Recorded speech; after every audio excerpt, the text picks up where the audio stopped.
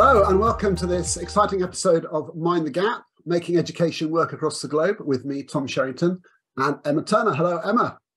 Hello, Tom. I wonder if you're as excited as I am about tonight.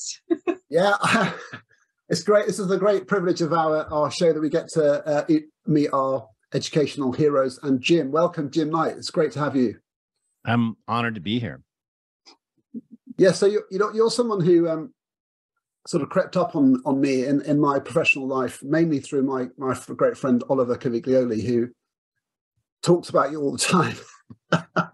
and uh, he basically introduced me to to your work. And now, no, my, my shelves. You, I have more books by Jim Knight on my shelf than by anybody else. So there you go. That, that's it. If that means anything. So you know, how, how, well, I asked this to, of Dylan Wiliam, actually the same sort of question, but how do you feel about having this sort of status as a kind of grandee, kind of father figure in the world of education because of the kind of status that you have? Do you do you feel that? Uh, a hundred percent no. I don't really feel uh, anything. Uh, in fact, it all sounds a little foreign to put it that way. I um uh no, I'm very conscious of my limitations uh, in in areas where I'd like to grow, and uh, uh, and I'm grateful for the in, in large part the people who shaped my thinking. I know everything I've done has really been a product of other people I've worked with, so I, I don't. I don't. I. It might be fun to feel. I guess there are times, maybe at a conference, where I kind of feel like people are, "Oh, you're Jim Knight," but it. Um, no, I don't. And also, my wife is quick to you know humble me. She's she she, she says things like, uh, "They only laugh at you because you know they, they think they have to. You're not really that funny." She keeps she keeps it from actually going anywhere. So uh, it's it's obviously it, so it's important to be grounded. I know it's probably you know embarrassing you to start with, but it's it, it's I think it's worth saying. You know, I, I think it's in our world of teachers. Teachers are generally humble people. I find, and I think it's it's it's it's pretty amazing to have created this body of work which has, has been so influential. And I think it's worth celebrating now. And one of the one of the things we like to do is is, is celebrate things which are, are current. And this is this has just come out, instructional coaching, seven factors for success, which is the, the UK edition of the, the same book, um, essentially the right. US. And it's just uh, yeah.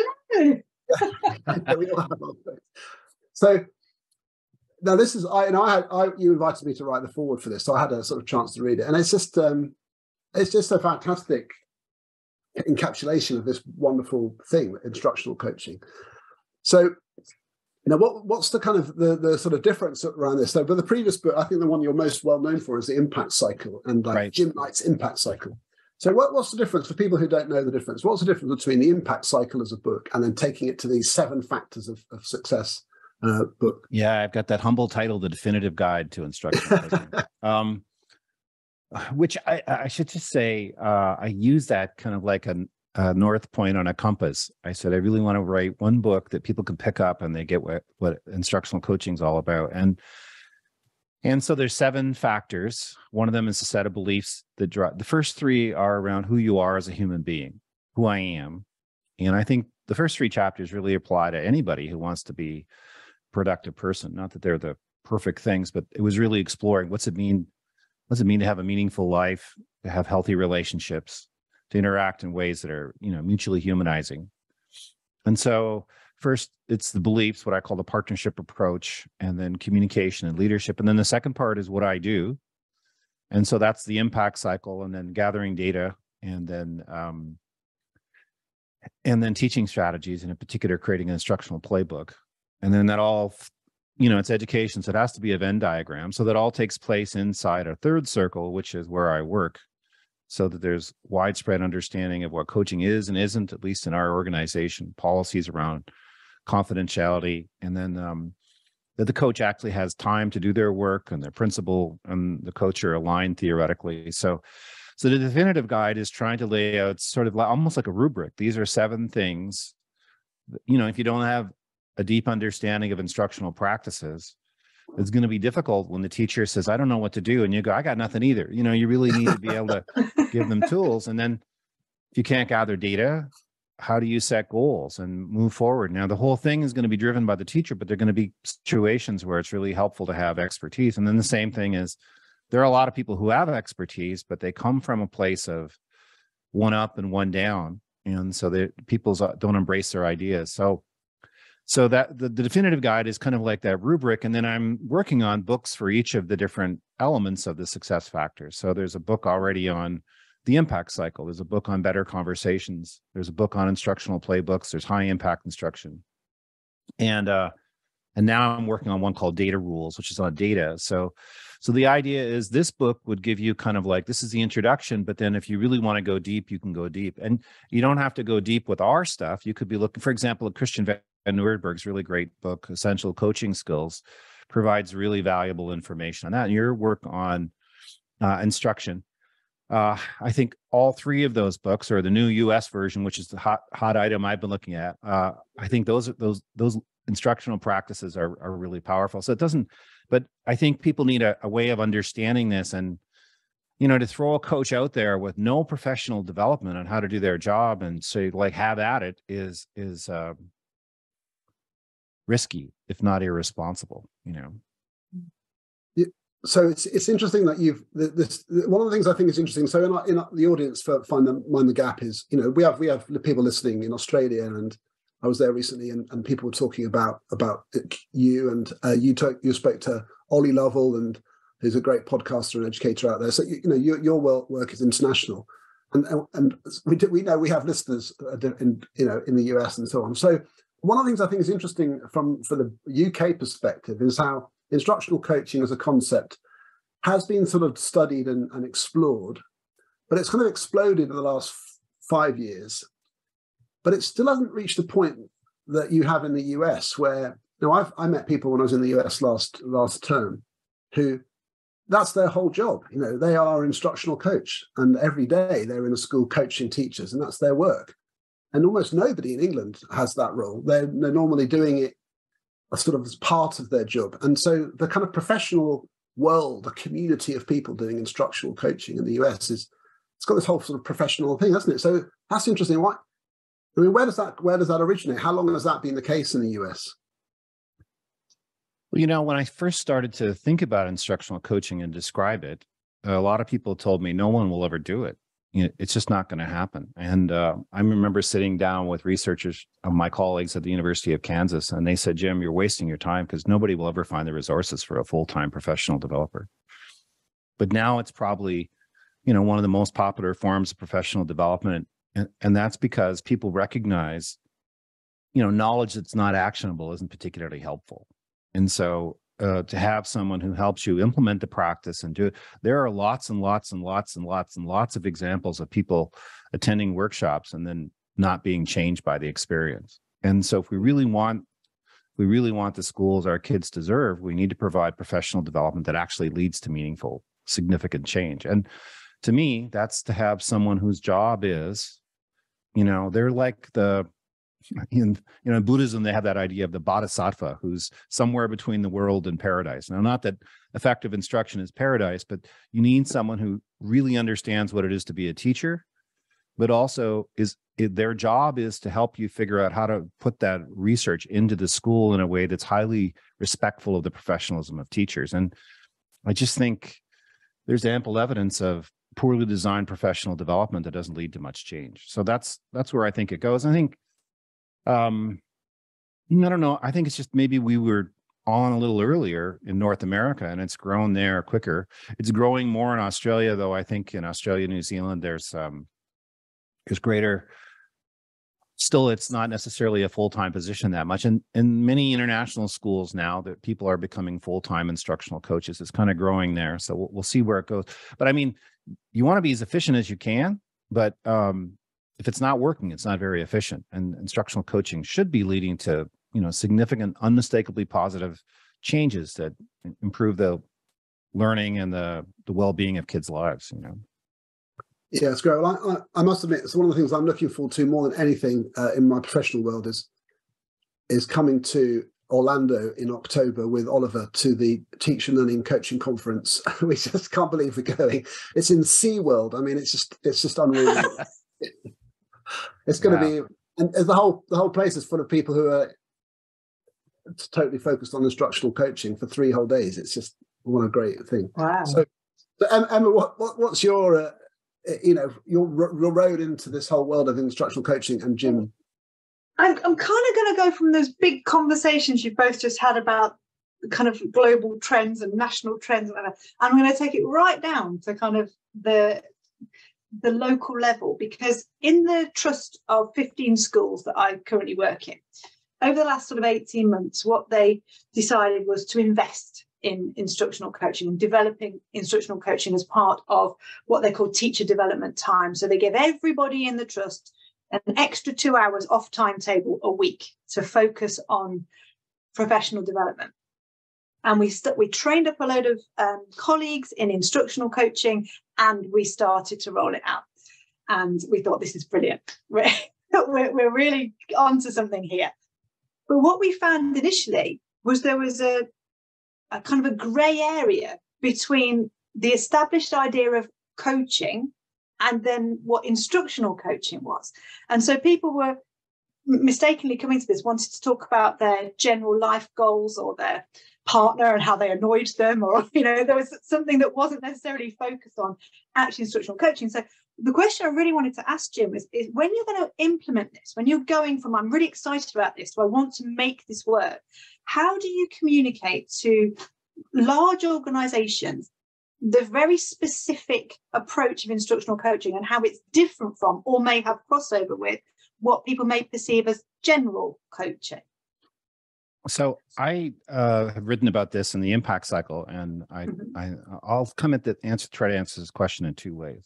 But um, I distinguish between what I call facilitative coaching and dialogical coaching and directive coaching. And so with facilitative coaching, it's it's about what I think what you're calling general coaching. And when I'm a facilitative coach, and I don't mean to trivialize it because I really believe in facilitative coaching. I've had many facilitative coaches, but in facilitative coaching, the coach is really helping me think deeply and uh, make plans and focus on important things, set goals. And um, the main job of the coach is to listen really carefully, ask good questions, and ask questions that invite me to think deeper and come away with um, action clarity and energy at the end of it. I know what I'm going to do and I feel good about it. But um that and that's great when there isn't expertise involved. You know, so if someone was going to help me um train for a marathon and they were my coach, um, maybe that's not the best example, but if someone is going to help me clean my closet, for example, or organize my desk here, which is pretty messy, um, they wouldn't have to have special expertise. I wouldn't need it. I, I know what I have to do. I have the knowledge I need. But then when you move into other fields, there's a body of literature. There literally billions of dollars has been spent on identifying what effective teaching practices are. And uh, what distinguishes instructional coaching is we share those practices, but we do it from the same set of beliefs that guide facilitative coaching. So, dialogical coaching is grounded in helping the teacher hit a goal they want to hit. We think professional development tends to be done backwards. An expert shows up, tells you this is the way you need to teach. And then as a teacher, you have to try to figure out, well, how do I make that fit my class? And then your first implementation is kind of crappy. And the easiest thing to do is to go back to the way it was before. It wasn't that bad before. So why should I do this new thing? But we think it works from the inside out, not from the outside in, which is once you've got a compelling goal the teacher really wants to hit, then you pull out the teaching walkthroughs and you say, I wonder which of these strategies could help us hit that goal. And so it's driven by the goal of the teacher. So an instructional coach works from the same set of beliefs. In fact, large parts of instructional coaching is the same as, say, facilitative coaching, except the fourth part of it, like the beliefs are probably the same, the communication skills are the same. There's probably a different communication process. We use the impact cycle or, a framework for conversation, but there's still going to be some kind of framework. Maybe it's Sir John Whitmore's GROW would be the facilitative approach. Um, but when the teacher says to me, you know, my kids are just not engaged at all and I, I, don't know what to do. The first question i'd ask is well what are you even thinking you might do? But if they're like i'm i've got nothing then i would say well is it all right with you if i share some ideas? You tell me. I've got this book with ideas. You tell me if any of these sound like things that might be helpful. And the teacher still makes the choice. All through the process the teacher makes the choice. I'm not forcing it, but it's helpful to have somebody who has that expertise and then also understands the process and understands how to set goals and how to make adaptations, the whole process. So that's where instructional coaching is different than, and, and I think once you get into the process of the impact cycle, it's pretty clear what we're doing here because we sit down and we say, well, the first thing is we need to get a clear picture of reality of what's happening in your classroom. So I could interview the students. We could have a group conversation. I could video record the class. You could look at it. We could look at student work, some comp, or something else. But let's get clear on what's happening, and, and then we'll set a goal about what you want to see change in the classroom. So I think once you get into the impact cycle, uh, that that's how it goes. Mm-hmm. The directive approach has a place, but I think it's way way overdone. The directive approach is where I'm going to tell you something you need to do, and, and you need to do it. And I think it's it's appropriate for example, if someone's being a toxic force on a team, someone's using microaggressions in the classroom, someone's bullying kids, uh, someone's unprofessional, then you you take the directive approach. Um, especially in an administrative role, sometimes you have to be directive. But the research is pretty clear. People aren't that motivated by other people telling them what to do, and adults are really skilled in nodding their head yes and doing nothing. And we just we just found and it also deprofessionalizes teaching to think that there's one right way and the coach knows what it is and knows what the teacher doesn't know. I think it makes more sense to start with the, the goal that the teacher wants to set and figure out how can we use this set of teaching practices to hit that goal. That's that's how I'd put it.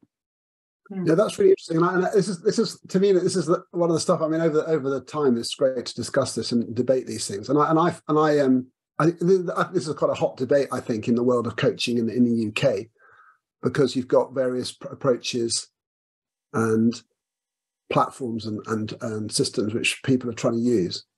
And some, some people are more more orientated towards saying a bit more positive about about sort of slightly more directive coaching and, and, so on. And, and it comes out of it from a place like this. So this is my experience, and I wanted to. I'm really interested in what you think about this. So when I when I go to a school, um, with you know, which has got Uh, 80 teachers and not not so many full on coaches but you've got sure. people the head of the head of department for maths or science is responsible for those teachers and someone someone might be helping them we, we look at the lessons and you know sometimes there's really obvious things that you think you know those would be good strategies to work on as a team like collectively because we can see across all the lessons that they have things in common for example and from our experience, we, we know that if those teachers were to just do this instead of that, or be slightly more sharp with this thing, those lessons would be better. So you do have quite a lot of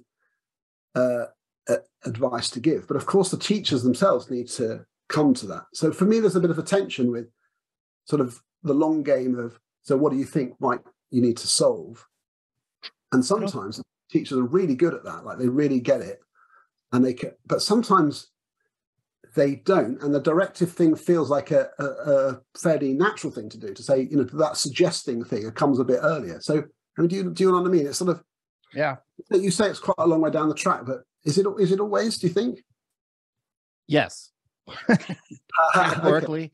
yes right. Uh, I, I've spent 25 years studying instructional coaching. I uh, work with Atul Gawande at Harvard. We did a project with surgeons at Harvard. I've written seven or eight books about coaching. We spend more than $30 million on research on instructional coaching. And yet, when I go to talk to educators, they say, Well, I don't really think it's that way.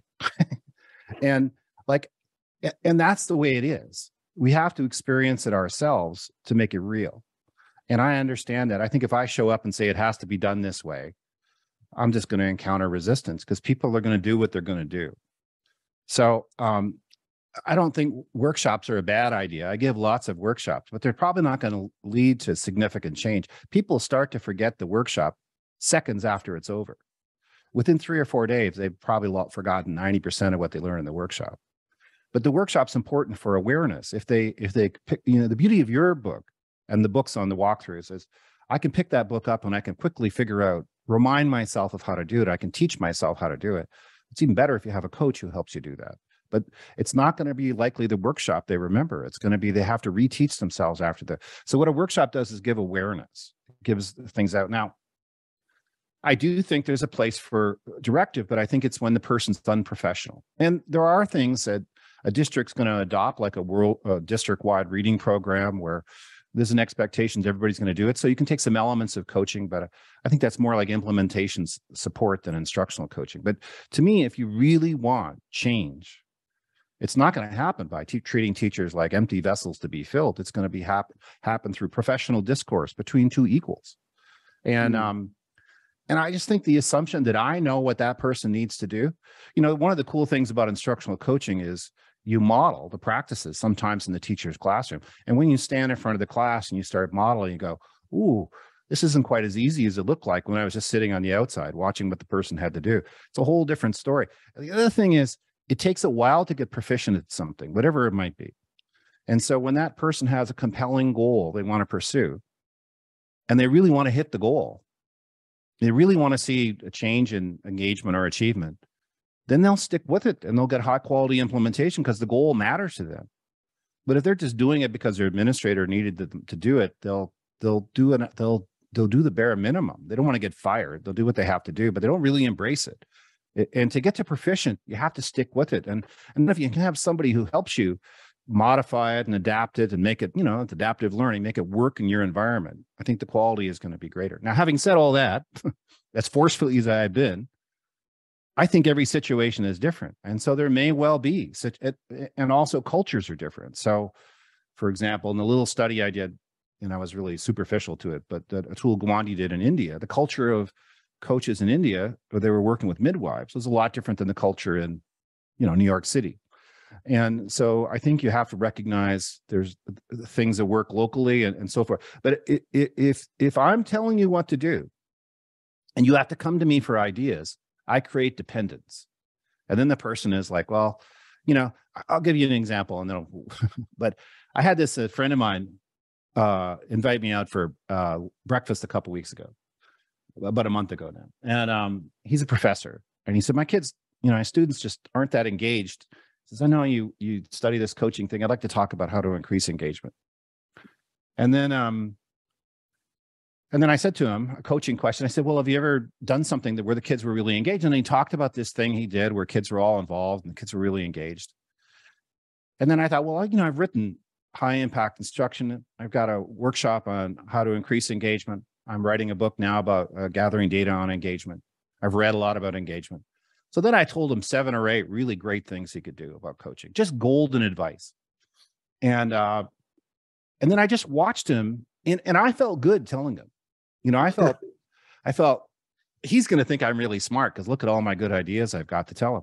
And he just got smaller in his chair. And at the end of it, I didn't even notice. I was so into telling him all these great ideas. But at the end of it, I think he won't do anything I suggested. And if I had explored the thing that had worked for him mm. and then figured out how some of my ideas had fit with that, he might have changed. But in that conversation, I just made him feel small. I mean, I diminished him rather than empowered him. So, so I think that's that's that's the check. Now, uh, one more thing. I know I said this is my one more thing, but here's one more one more thing.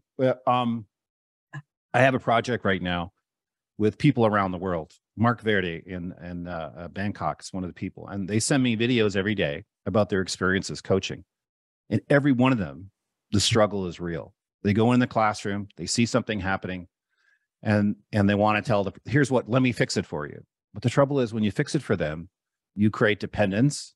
You don't empower the person. And I, I think there are, maybe there are times when you say, This is what I'm going to do. If it works, great. I mean, I, I wouldn't want to limit what's possible.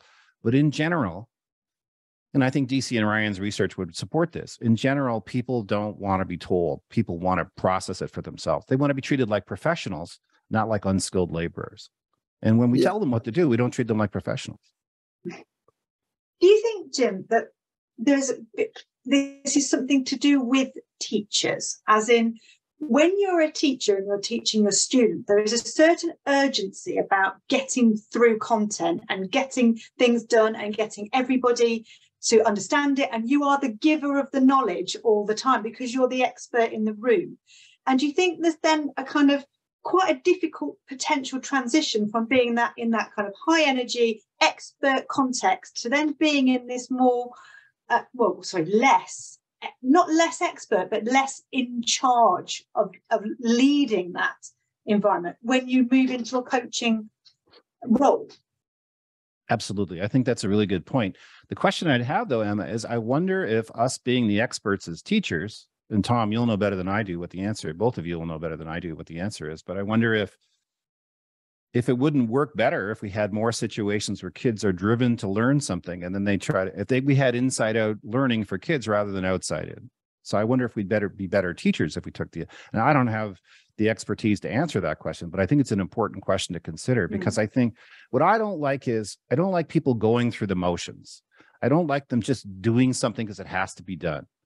I want it to be authentic and meaningful. And that starts with something they want to focus on, you know. But I, I think, yeah, as a teacher, my job is to be clear, to help them get it. And I, I think um, I think working in a coaching perspective, when you lead a workshop, I think it's effective teaching. And I, I do believe in workshops. I think that, that they create awareness. But then if you have a coach who follows up afterwards, I say the coach is the memory for the teachers. The coach can come back and help you implement that thing. And, and in that case, coaching is a different thing than teaching.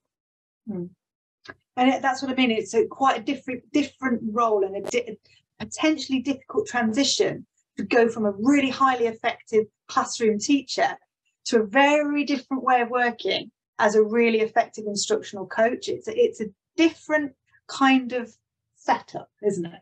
Right, right. And it's challenging and it may not it's it's an it's a good question whether or not everybody is capable of it. I don't know the mm. answer to that question. It's interesting. I mean, uh, and it's, it links to various other analogies that you know about teaching. About I mean, Dylan Williams talked about it being like the, the knowledge you need to teach is like the knowledge you need to ride a bike. You have to you have to get on the bike to feel that, and, and someone can guide you. And then last weekend, I took my daughter for her first ever practice. She her, she had she just had her first ever driving lesson. She's twenty four, um, and I, I went in the car with her for a practice, and it was way too early because she was still at that kind of feeling the clutch and the the, the gas pedal thing, and we were doing the boom, boom down the road. And I was trying to say, you know, soft. It's just a little bit softer. And she was sort of saying, "Well, what do you mean?" I said, "Like, already, I can't tell you what it feels like. Um, I can only tell you how to describe it. So you have to find it. You have to find it. And and it's so interesting having to sort of. And this is, but this is the thing. I, I sort of come to. Well, I mean, I wrestle this all the time. Is that Mhm. I, I have a framework for driving, which I can describe quite precisely. And, and because I see so many hundreds of teachers, I have a framework for teaching, which I think is quite, um, you know, well grounded in in evidence of seeing effective teachers teach. So when I'm talking to an individual teacher who might be somebody who, you know, is finding some of the things quite difficult, I, I've, I've got to get them to that same understanding, like my daughter with the driving. I've got to get them to come to that sense of what they might do, and they have to be at the center of it. But I, I have a sense of, I, stef- I definitely have an agenda. It's not like the, it's a blank slate. What do you want to solve? I feel like I'm coming to it with some, some content, some structure, because of the. So I mean, but and that, does that is that where the sort of playbook idea comes in, and, and or you know, because I feel like we, we can sometimes lose energy by constantly reinventing everything every time we teach to a new teacher. So, how, how, what do you think about that? Well, um, I think uh, the question always comes back to implementation. You know, Mm. um, I mean, I believe that being really clear on what you're going to teach, gathering data on whether or not kids are learning, providing feedback, adjusting your teaching, um, you know, those things are probably going to be a lot more helpful than than not. But just because I tell somebody to do it doesn't mean they're going to do it. And and I think your your analogy with your daughter is that person has to work it out for themselves. They have to figure out what works and what doesn't work. Like it's not one. This is a, a phrase I've swiped from Eric Louis, but or Liu, but uh, it's not one size fits all. It's one size fits one. And what works for one group of students with one teacher, it's going to look different somewhere else. And so to me, uh, to me, the learning has to be professional practice. I mean, it has to be learned that way, you know. Um, there's a wonderful book about leadership by Ron Heifetz, and he's he distinguishes between technical challenges and adaptive challenges. And he says uh, technical challenge is something that has a concrete solution. Like, what's the schedule going to look like for next year's school year? Who's going to teach what? That's a technical challenge. And ada- adaptive challenge is, is like raising a child. And if one child is complex, what about a classroom full of children? I mean, that's an adaptive challenge. And what Heifetz says is the greatest mistake leaders make is to treat adaptive challenges like technical challenges. Here's a recipe to solve the complex complexity of the classroom. It has to be adapted and and which isn't to say as a coach, I don't think you should sit there like a rock and keep things to yourself. Like if I'm looking at a situation, the teacher says, you know, my kids are are not listening to me or I feel I can't keep track of it. I think you can propose things but the teacher's not going to do it just because you tell them. It makes more sense to let they're going to make a choice whether you give them the choice or not. So I just mm. say, is it all right with you if I share a few ideas I've got about this and you tell me if any of these give you confidence? And and so I'm I'm not withholding my expertise. I share my expertise, but I share it in a way that I think recognizes the other person because professionalism is about making choices. It's about discretion. If I tell them this is what you need to do, it's probably not going to be nearly as effective as when I say, well, here's a couple options. Tell me which one you think. And if somebody says, I'm thinking I'm going to do this thing, and I think it's just a really wrong headed thing, I'd say, is it all right if I tell you something I'm wondering about this? What, what about this? This is something I'm wondering. If you if you do cooperative learning before you get behavior in place, kids might get more off task. That's what I think. Well, what do you think? Because they're going to do what they're going to do, whether you tell them or not. So you might as well just put the choice out there in the conversation. Let them let them make the decision, and it's it's more respectful that way, and it's more likely to lead to change. Is the way I would put it. Yeah, that's that's that's that's really interesting. Is there a sorry? I'm just thinking about the, the range of teachers that I work with in terms of career stage. Is there a is there a sweet spot for instructional coaching to to work really really effectively? So I'm just thinking colleagues who are initially training to be a teacher very very early on in their career. Does instructional coaching I don't mean does it work, but is it the most effective thing for an a very early career teacher? Is it something that works better when you've kind of got a few basics automated in, in terms of your practice? Or is it something that everybody at every stage can get something out of? Or is there like a little sweet spot where this is the point where you kind of it really kicks in? Um, well, I think there are people f- for whom coaching may not be the right thing. They have other issues that need to be dealt with more that are more important. I mean, maybe they have a parent they're really worried about, or they have a, a child that's behavior is problematic, or they have issues outside of school, or there's other things that might be going on that aren't coaching things. I think coaching first, first off, it's not the solution to every problem. And then I think um, I think providing some professional development uh, on different things is helpful but like take in America, there's a thing called CHAMPS, which is a classroom management model where you you identify the expectations for all the activities and the transitions, and then and um and then you teach the kids what's the conversation going to look like? How do i ask for help? What's the activity? Can i move around? What's particip- participation look like? What are the success criteria? And lots of teachers have workshops on champs and I see those posters they create in their classrooms and they look at them at the start of the year and they never implement them after that. And if they had set a goal around disruptions or engagement or some goal that really mattered to them, where they felt this is going to make a difference in my class, they'd have to keep implementing those practices until they worked.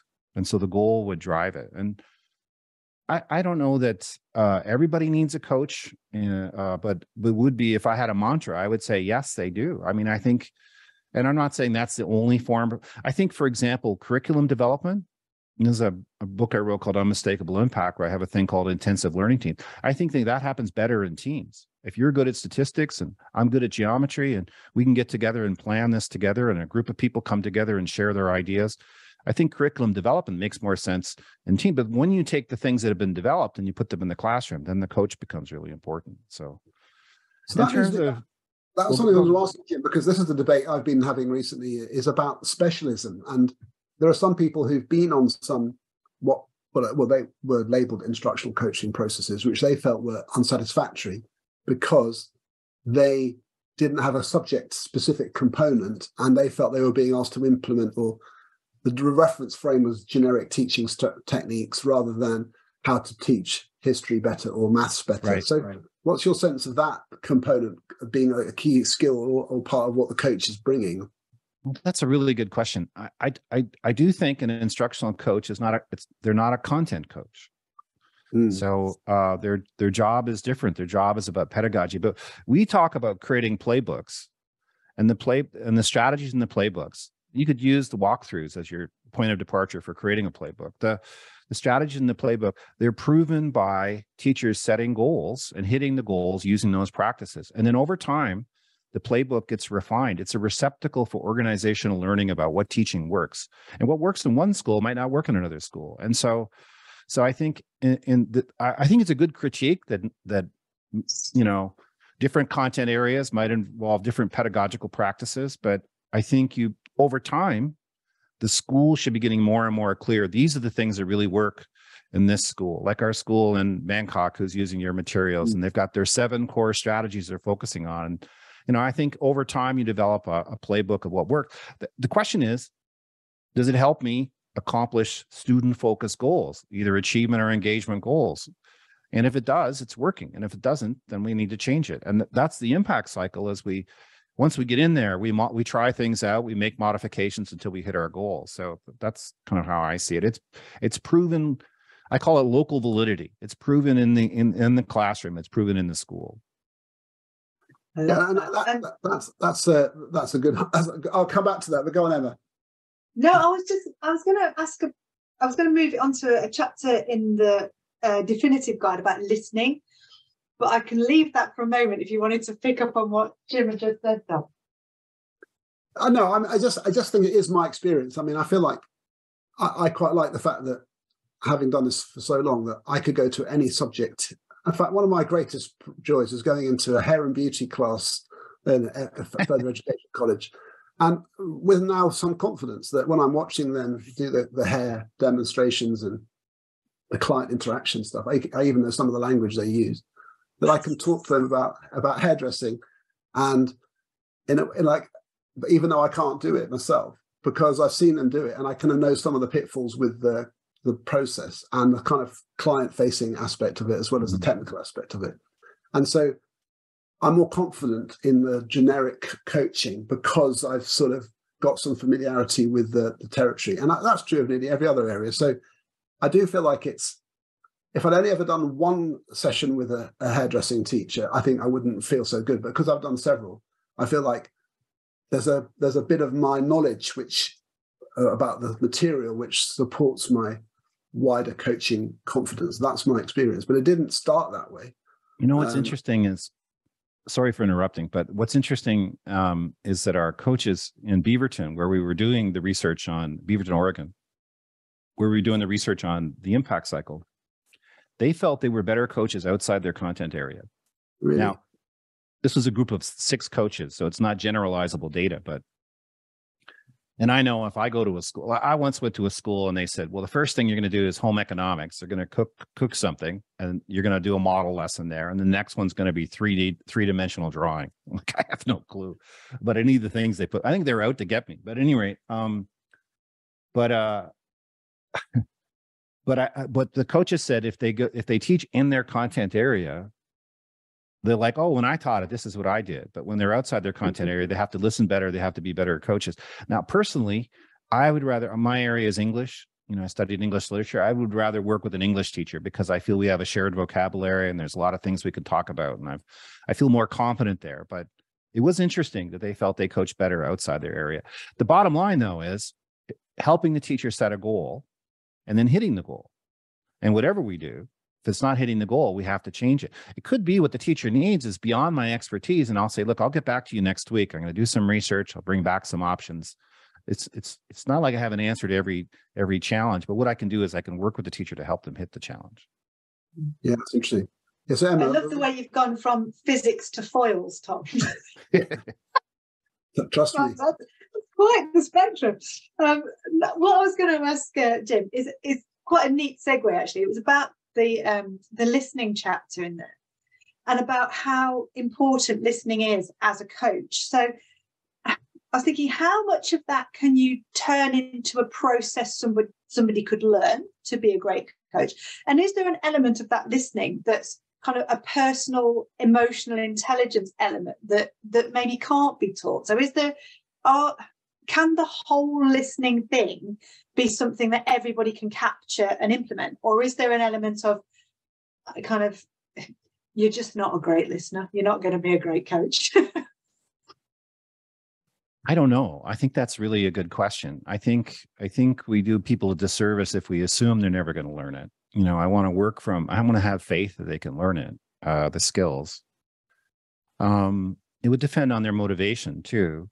I mean, there's a whole bunch of things played into it. Like a lot of people struggle not being the expert and being a partner in the learning. I mean, that's something you have to overcome.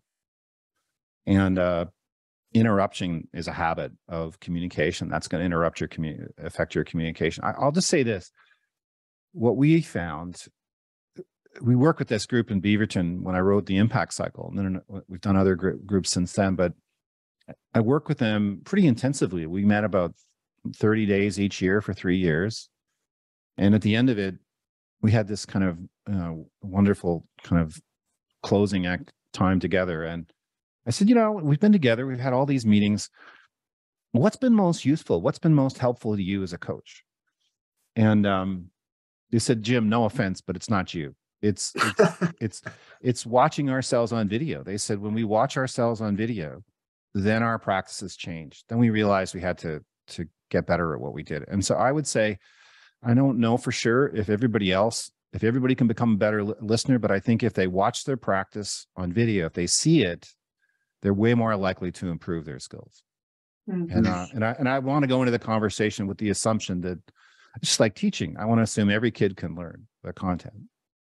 I guess it's because the camera never lies, but you can lie to yourself about what you normally do, but you can't lie to the camera if it's actually saying that there. well, uh, that's why I think video is so uh, integral for for coaching because there's a whole bunch of reasons. The wonderful book about uh, uh, change is motivational interviewing by Miller and Rollnick. And Adam Grant writes about that in his book Think Again. He has a chapter on motivational interviewing. But but they point out that there are all kinds of ways in which we deceive ourselves about reality and it's not it's not a negative thing. It's to protect ourselves but we have defense mechanisms that minimize the problem or blame others and externalize blame.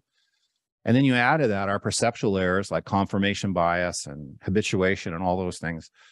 You know people just don't know what it looks like when they do what they do. And so there's a reason why athletes are always watching themselves on video because they they can improve their performance. And whether it's coaches or teachers I, I mean i wouldn't force video on people it's emotionally complex but i do think it's probably the single most powerful thing you can do to improve your performance is to watch yourself doing it oh my god i I, it, I did that in my first ever teaching practice in uh, 1986 in manchester and I put the, the video was about this size on a tripod at the back of the car.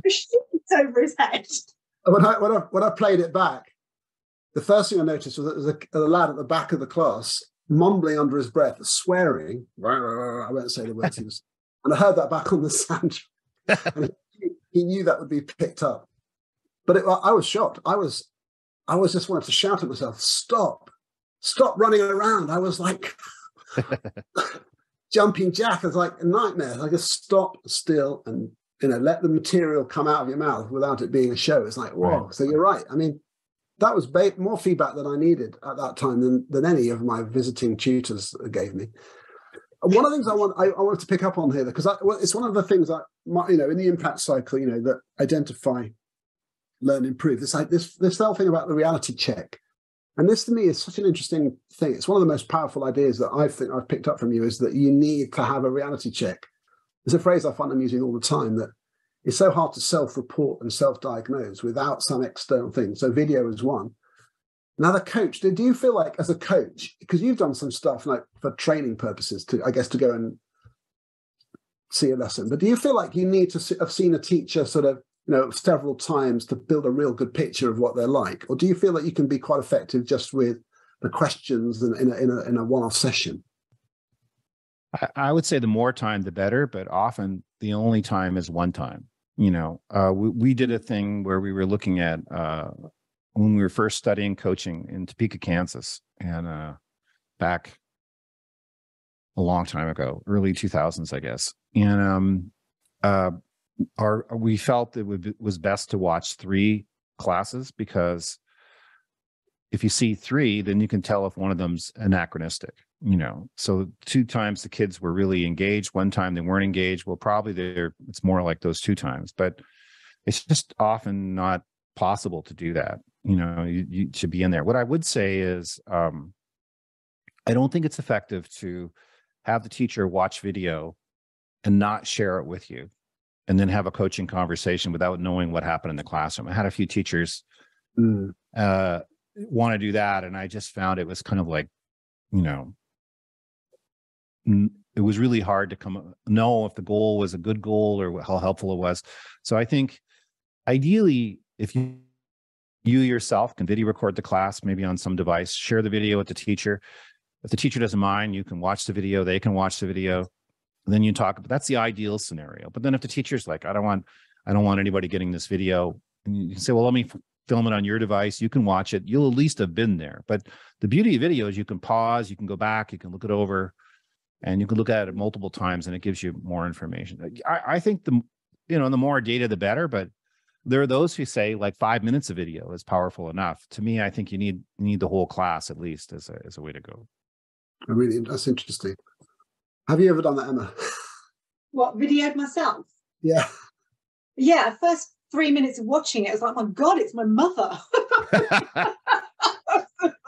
yeah, I know it's hard. You have you have to get through the you have to get through the physical thing. Like one of our coaches uh, said, "I'm never wearing those purple pants again." That was her first reaction, you know. And and I, and I think you know nobody ever looks at their video and goes, "I'm skinnier and younger than I thought." You know, it's it's always it's always a it's a shock. Although of course with Zoom and all that, we're getting to a point where it's much more common to see ourselves, mm. but but still there is there is this sense of but after you've watched once or twice then you get to whether there's that person who is me and it's mm-hmm. different but it is it's it really is useful and especially if you can video video yourself from different vantage points in the room at the same time so you can really see the expression on the children's faces as you're talking because we we set it up where we've got one camera trained on the teacher and one camera trained oh, on the great. children to actually see so you could in the children's one you could hear what the teacher was saying but you could actually see the responses of the children which was really really interesting because you think when you're teaching you're seeing exactly what their what their responses are. You're not. Mm-hmm. and when you watch it back you're like oh that fell a bit flat or that really worked or that was really useful. So yeah i have done it and it, it is really interesting but it's it's a big hurdle to get over. It's kind of like you just have to get past it and, and get on with it. And the other thing is, one of the best ways to roll it out in the school is to do it yourself first. To kind of put yourself mm-hmm. up there as the video sacrificial lamb and, and put yourself out there Do you think it matters, Jim? And if you research the sort of the like the coaching like dynamics, because I mean, I, got, I just realised I could talk to you forever on this, but uh, so I, I feel like I've, I've formed a habit, and I don't know if it's a good one, but it's just I just feel it, it I feel it's productive, so I keep doing it, which is I sort of go into the back of the class and I sit next to someone who has a space next to them. And often is not there a student who's sort of hanging on the edge of the lesson, just about hanging in there. And I'm not really looking at the teacher so much as being with the student to see what they're thinking and doing whilst the lesson's happening. And to me, that kind of reality check is like if I watch the teacher over there, they might be doing all kinds of good stuff. But what for this student's experience is my kind of weather vane of are they are they making progress? And often the teacher's so far away from them, they don't they don't pick up on that particular student. And that's my I found that to be a really productive form of reality check. Like, did you notice that such and such? So, I mean, what do, what do you typically do you, when you go in? Do you sit at the back? Do you, you know, walk around? Well, first off, you probably know, given your experience as a head teacher, you you know more about this than I do. So I would defer to your your expertise on that. But when I go in, um, I'm not really trying to come to a conclusion about the class. I'm just trying to take it all in. And so, you know, there's in, I think it's in the impact cycle, we have a list of things you can talk about with the teacher. Where would you like me to sit? Is it okay if I talk to students? We work those things out. But usually I end up just sitting down, video recording the teacher when she talks or he talks, and then video recording the students when they talk. And even that I would discuss with the teacher because I'm not going in there to to get my opinion. I'm going in there to get as much information as I can. So when I sit down with a teacher, they can set a goal. Mm. And uh, I love John Campbell's quote, which he he tells me he got from Tony Grant. But his quote is, um, a less than perfect goal chosen by the teacher is better than the perfect goal chosen by the coach. Mm. And so what I'm trying to set up is an um, an emotionally compelling goal that the teacher really wants to go after. Now, if they're doing something that I think is, you know, misguided or unproductive, I'm not going to tell them that's wrong, but I'm also not going to be silent. I'm going to share in a way that honors their capacity to treat them like a professional, which is to say, here's what I'm wondering. You tell me what you think. And the two of us back and forth share the ideas and explore it together. So I think talking to kids about what's happening was, uh, I, you know, I, uh, um, my colleague Don Deshler at the University of Kansas, they had a project. Our work has primarily been with students with learning disabilities at KU, but they had a study where they just followed students all day and they just went to every class. They just sort of followed the student all day. And that was super powerful just to see what's happening. But kids in particular with learning disabilities or behavior disability, one student, only one student talked to him all day. And that was hmm. because they bumped into him. And, Wow, yeah. and they said, Oh, sorry. And that was it. Whole day, no interactions with anybody the whole day. So I think that's real powerful. And I think it would be the same thing in the classroom. You could probably see a lot just by looking at one student. Yeah, I mean, I often do that, and I feel like anyway, it's so interesting. And we're gosh, we're, we're getting the, the nod from our producer, so we have to wrap this. so, I, we, I, I, honestly, and we say this, you know, to, to people because these conversations are so rich. But I really, I just want to have like part two instantly. Well, we're So going to do it. We're going to do it in a couple of weeks. So you're going to be on our podcast. So gonna be on your we will have part two. I'm so excited about that, and Oliver will be with me then. But I, I, actually decided to do this before. I don't often prepare stuff, but um, I want I want to read out a bit from your book because I wrote this in the foreword, and and I think this is wonderful. So, in your conclusion to to in your um, definitive guide, it says, most important, perhaps, coaches partner with teachers so they can have an unmistakably positive impact on children's lives. And when a coach helps a teacher make one positive change, that change can have an impact on every student that teacher ever teaches. And I just wanted to go, yeah, yeah, yeah, like that's the kind of punch the air kind of statement. But it's so it's so powerful. Like Mhm. if you make a positive change for a teacher as a coach, every teach kid they ever teach is going to be impacted by that. And that's Right. like that's a brilliant, that's a wonderful thought. And one of the things I love about your work, Jim, and I'm going to wrap up with this, is that you motivate coaches to be better coaches as well as teachers to be better teachers. And I feel that's a really important thing because it's not easy to do. And you have a kind of humility that you model so beautifully every time you talk about coaching. And it, it, I feel like I'm sort of having to, I'm just thinking so hard about everything I do because of the way you model it, have you have that kind of depth of uh, kind of belief about what the principles. And I think that's so important. I get a bit sidetracked by pragmatism and Mhm. getting things done. And you're like, there are principles and they matter, and you keep that kind of line. And I think that's really important that we have that you have that kind of strength of voice in, in the whole sort of community. So look, thank you so much, Jim. Really great talking to you. Um, thank you to everyone listening to Mind the Gap, making education work across the globe. We've had an absolute storm of, of uh, great guests this this uh, term since Christmas, and wow, talking to Jim has been a real honour. So thank you so much. Thank you, Emma. Thank you. Thanks, oh, Jim. And thanks for everyone listening.